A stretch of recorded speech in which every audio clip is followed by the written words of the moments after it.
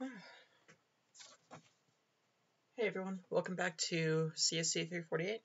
Today we're going to be working on applying direct proofs to sets. Set proofs there. Now you might notice uh, I've sort of changed my format a little bit again. No, I didn't grow my hands. They actually are the same size.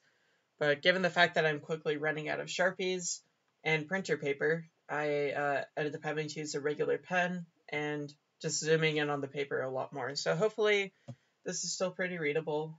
Um, I feel like it, it seems fine. So, yeah, we'll uh, we'll see how this goes for a little bit. All right. So, set proofs. What we're just going to do is we're going to practice some more direct proofs, but we're going to be working with sets. So, if you're still having trouble with direct proofs, I would look back at that video just to refresh yourself with the structure of a direct proof. Basically, we start out by uh, we're trying to prove a uh, if-then statement or a, uh, conditional statement. So we start by assuming the uh, if side, the whatever p is, and then we try to show that q is true by applying definitions, theorems, and stuff like that. So the first example I want to look at is so the first example I want to look at is one that we've already covered a little bit, but I want to show what an actual proof of this looks like. So the theorem I want to show is Z is a subset of Q. So what I'm saying here, oh, that is ugly.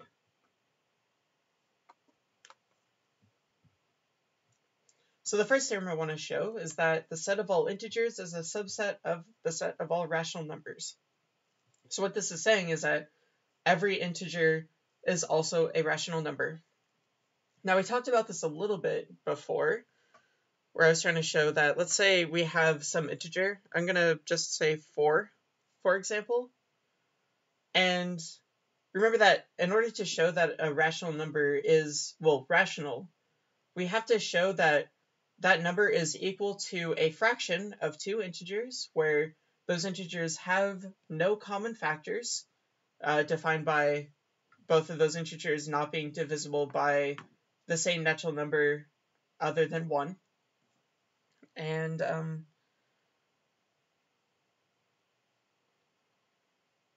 we also need to show that the denominator is not 0. So what I did in the past was we said that 4 is equal to 4 divided by 1. And then we went through and said, okay, well, 1 is not equal to 0, so that's fine. And 4 and 1 are not divisible by the same common factor. So they're not divisible by any natural number other than 1. So this is totally fine.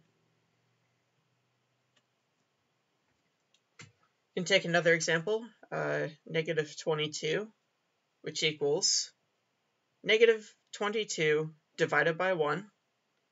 1 does not equal to 0, and 20, negative 22 and 1 are not divisible by the same common factor of are not divisible by the same common factors. So again, we're totally fine here.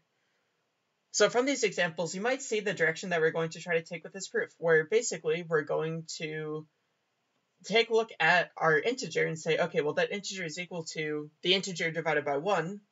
Obviously, they're both going to be integers. 1 is not going to be equal to 0, and you can't have a natural number other than 1 divided into 1 anyway, so that's all going to work very nicely. So let's take a look at what the what the scratch work for this proof might look like. So I so I immediately want to point out that by definition of subset, when we say that the set A is a subset of B, what that means is that for every x in whatever universe we're looking at, x being in A implies that X is in B. And this we, we say that this is true if A is a subset of B. The reason why I want to point that out is because up here, we don't have an if-then statement for our theorem. At least not directly. Now I said that a direct proof has we have to tackle a uh, if-then statement when we're using a direct proof, and that's completely true. So what we have to do is we have to take this and we have to convert it into an if then statement or into a conditional in order for us to even use a direct proof. The reason why is because we need to know what assumptions we have to make in order to try to prove the uh, conclusion we're trying to reach. So, if we take this definition of a subset right here, what we can get is we can basically substitute in Z for A and Q for B. So we'll say that if we show uh, for all x, x being in the integers implies x is a rational number. If we show that this is true, then we show that the integers are a subset of the rational numbers by definition of subset. So that's what our proof is going to be. Our proof is going to focus on showing this part, and then we can say, by definition of subset, this means that the integers are a subset of the rational numbers. And the way we can do that, since we have a for all proof right here, we're going to use our arbitrary x like we did in the last proof. So what we'll say is we'll let x be an integer, and then based off of what we did in our examples here, we'll note that x equals x divided by 1. So let x be an integer, x equals x divided by 1. Now what we have to do is we have to make sure that the definitions of a rational number are fulfilled. So need to show what we need to show is that 1 is not equal to 0, x and 1 are both in the integers, and no natural number greater than 1 divides evenly into both x and 1. These first two points are trivial, so we'll be able to say that pretty easily. And this part right here, we'll have to note that, we'll note that no natural number greater than 1 divides evenly into 1. So because of that, no natural number divides evenly into both x and 1, which means that x and 1 have no common factors. So we'll have to make that note when we're going through our proof right there. And once we show all of this, then x is a rational number. We can make this claim once we show that x has this equivalency that we can make this claim once so then once we show all of these requirements, we know that x is equal to some fract some reduced fraction which means that x is a natural number. And because of that, we can then say, therefore, by definition of rational number, uh, sorry, by definition of subset, Z is a subset of Q. So that's what we're going to be showing in the proof and I will write that up and I will walk through that, walk through what a good proof of this would look like. Alright, so what I have here is I have the entire proof written out. So I want to go through step by step and talk about why I, you know, why I write certain things and why I choose the order that I put them in.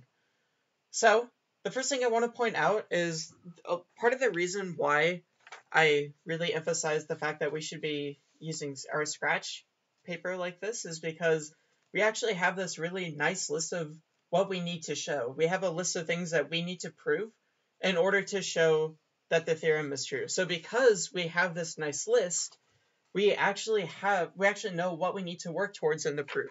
So if I had just shown you this proof without going through my uh, scratch work like this, you might be wondering, well, why did I start out with this sentence here as like the third sentence in the proof, or why am I talking about this whole common factors thing? So that's why I like to talk about the scratch work, and that's why I think it's so important for this type of work here. Anyway, so what the proof is, is I start out by making our assumption. We're going to let x be an integer. And remember, I'm making this assumption because I'm trying to show that x being an integer implies that x is a rational number. And then we can use our definition of subsets in order to show that, well, since this works for all x, given that we've used an arbitrary x like this, this means that we can apply our definition of the subset there. So I start out by saying let x be an integer and immediately say note that x equals x over 1. So I'm already setting up the definition of rational numbers right here. And then I, I make sure that everything, all the conditions of the definition of rational numbers are met. So I immediately start out by, by saying that 1 is an integer because a rational number, both x and 1 actually need to be integers here. That's a major requirement for that. I also point out that 1 is not equal to 0. Uh, debatably, we don't really have to say that, so I probably would have been fine not saying it, but it's nice to have that like explicit check mark that says, okay, well, we know that this part of the definition of rational numbers is satisfied. Um, probably you're fine if you don't put this one because it's pretty, I would, I would say it counts as common knowledge that 1 is not 0. Then I'll make this argument. Note that x cannot share any common factors with 1 other than 1. And because of that, we've satisfied all three parts of the definition of rational numbers, so we can say that x is a rational number. Which means that this works for any integer x that we put in. So I could say, I could put in x is 4 here, x is negative 22, x is 100,432, etc., etc. So I landed this conclusion that x is a rational number. And then I can say, therefore, by definition of subset, we can we can apply that definition right here and say that the integers are a subset of the rational numbers. So that's what that proof looks like. And of course, I draw the little box at the end. Um, again, you know, feel free to draw whatever you want as long as it's some kind of happy symbol. I think the I think the most unusual QED end of the proof symbol I've seen is uh, someone went and drew a blobfish at the end of every single proof they drew, even for the midterms, which was uh, really shows some dedication. So I uh, I really appreciate when people get creative with this. Makes my it makes my job a little fun.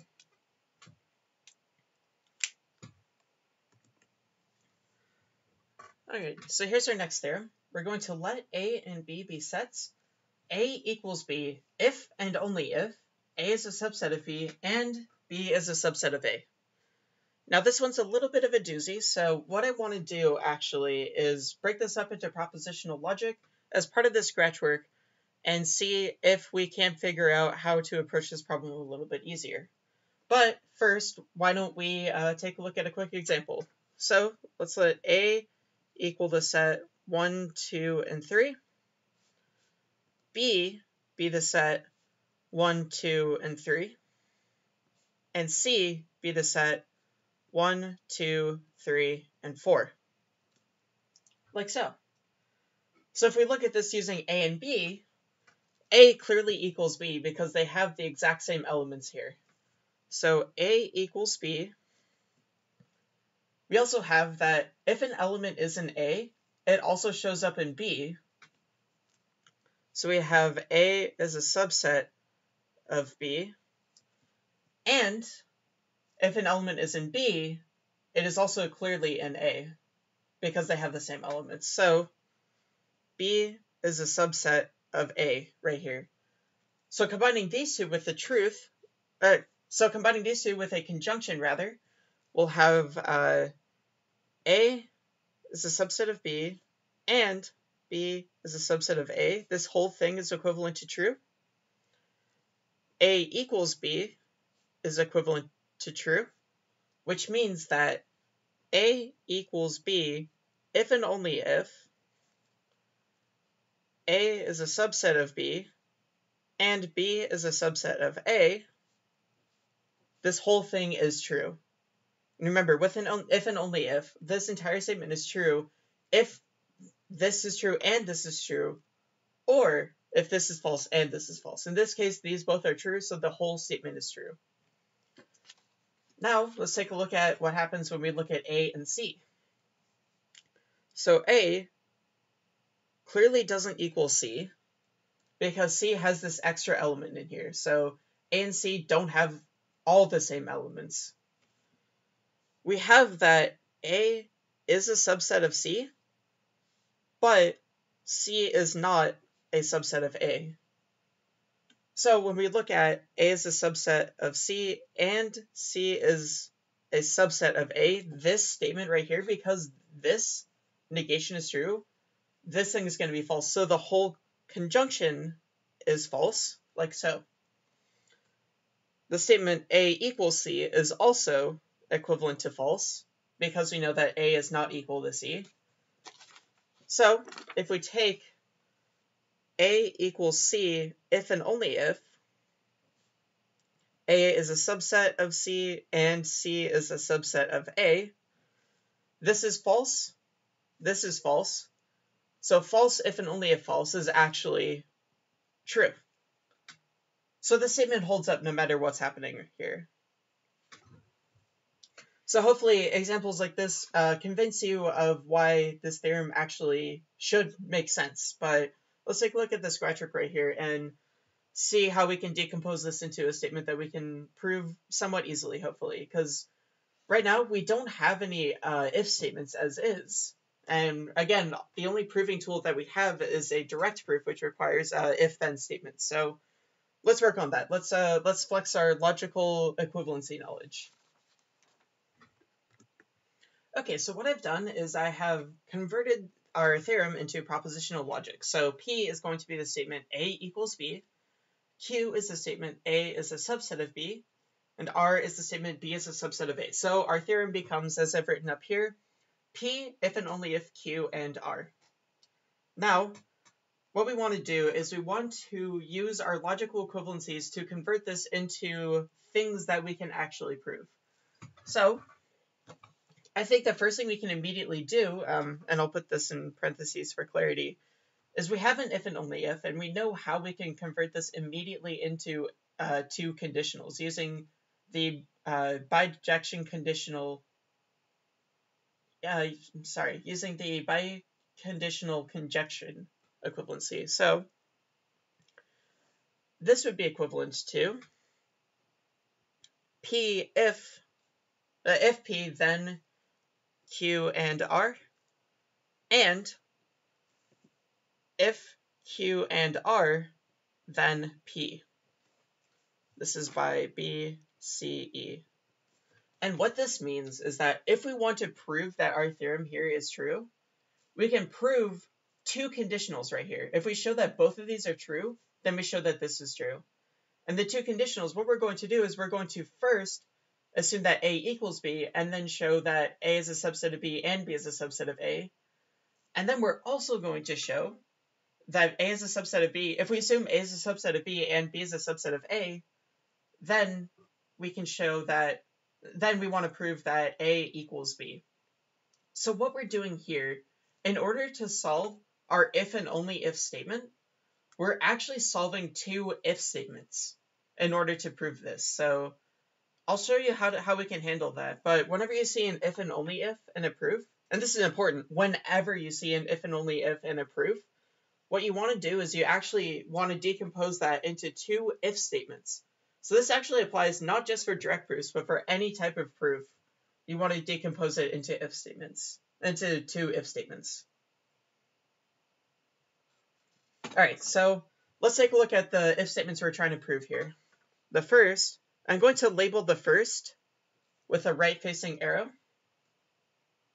The first is that A equals B implies A is a subset of B and B is a subset of A. The second, which I'll denote with a leftward facing arrow, is the statement A is a subset of B and B is a subset of A implies A equals B. So let's take a look at what these actually are trying to show because we, we can make this a little bit more clear by actually talking about the definition of set equality and subset. So what we're trying to show for this right here is, I'm going to draw an arrow down this way what we're trying to show is that for all x, x in A, x is in A if and only if x is in B, this whole thing is true. If this whole thing is true, excuse my voice crack there, it's very late at night, then this implies that for all x, x being in A implies x is in B, and for all x, x being in B implies x is in A. And what we can actually do here is we can take this for all x and sort of bring it out to the front. So that's what I'll do right here. This whole thing is equivalent to saying for all x, x in A, if and only if x is in B, this whole thing implies x is in A if if x is in A, then x is in B, and if x is in B, then x is in A. So this looks a, now this is kind of a mess of propositional logic, but what you can see right here is we actually have a uh, biconditional equivalency. But what we actually have right here is a biconditional conjunction equivalency ready to be set up. So what this really becomes is for all x, x is in A if and only if x is in B, implies x is in A if and only if x is in B. So we can already see sort of the equivalency right here. But the reason why I want to talk about this is I want to see how we're going to approach this problem right here.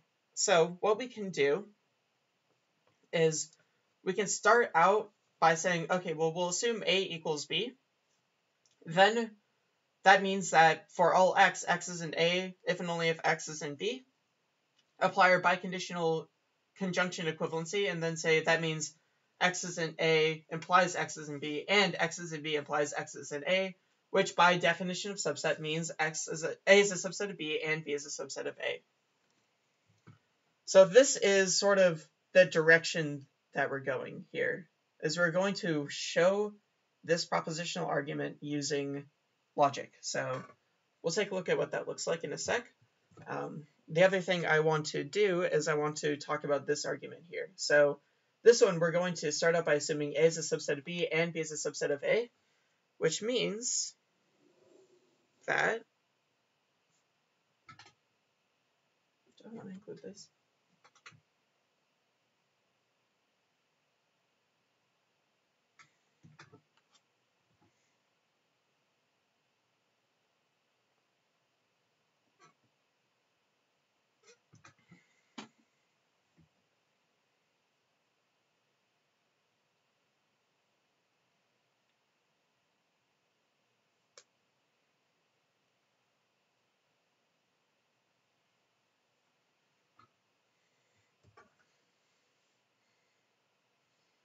We can apply our definitions to show for all x, x is in A implies x is in B, and for all x, x is in B implies x is in A.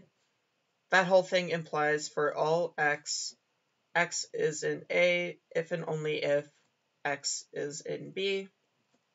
And really we can do the same thing as above to get something similar, but with these uh, sort of reversed. So this would be for all x, x is in A, implies x is in B, and x is in B implies x is in A. That whole conjunction implies x is in A if and only if x is in B.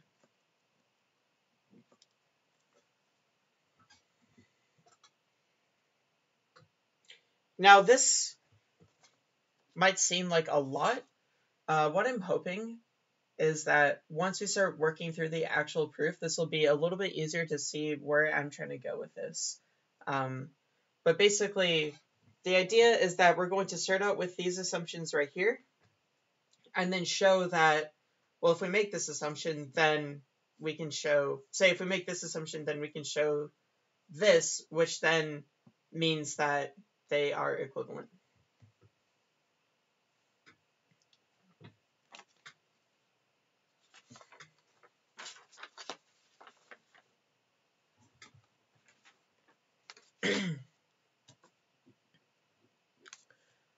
so for the proof, uh, so for the proof, remember that we need to show, we need to break this uh, if and only if statement into two conditional statements. So we need to prove two things basically. We need to prove this statement here that I labeled with the right arrow and this statement that I labeled with the left arrow. It doesn't matter what order we prove them in as long as we prove that both of these are true.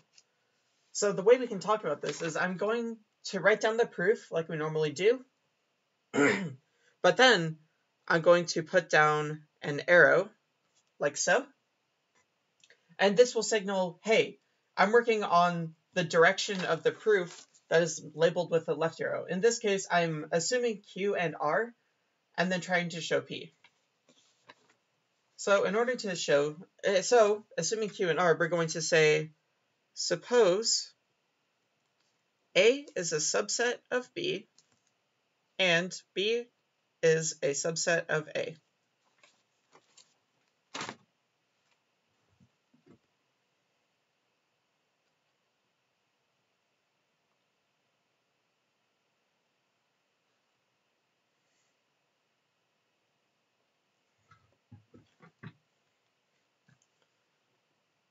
by definition of subset, this means for all x, x in A implies x in B, and for all x, x in B implies x in A. We'll do the same thing that we can do by sort of taking these for all x's out to the front. So then we'll say that this is equivalent to, for all x, x in A implies x in B, and x in B implies x in A.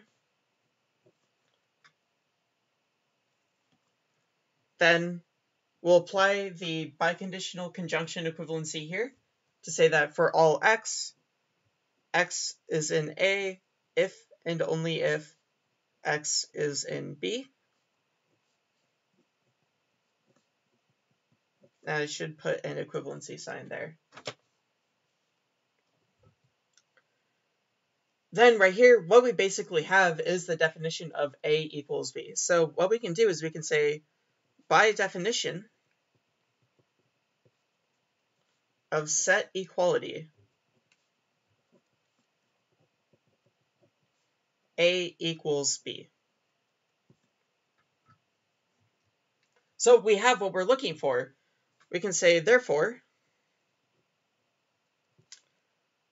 if A is a subset of B and B is a subset of A, then A equals B.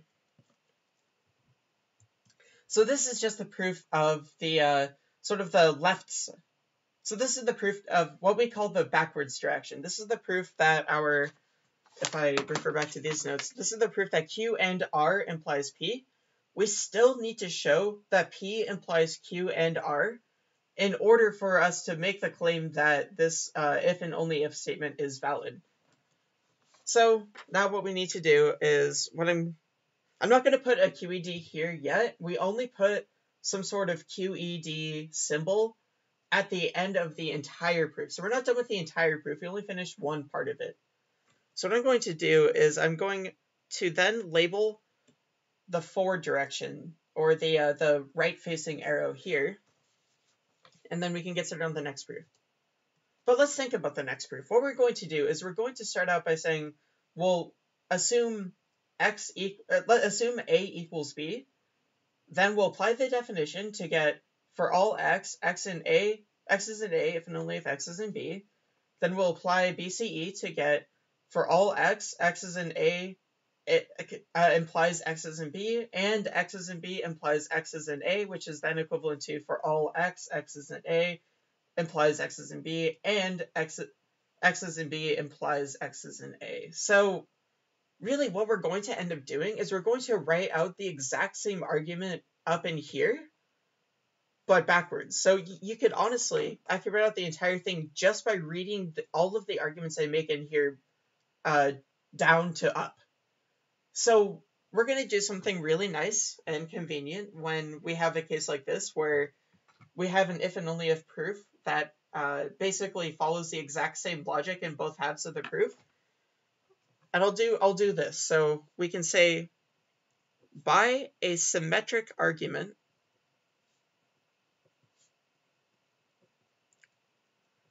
Uh, and what I mean by by a symmetric argument is that we're saying that the same logic here holds up in the opposite direction.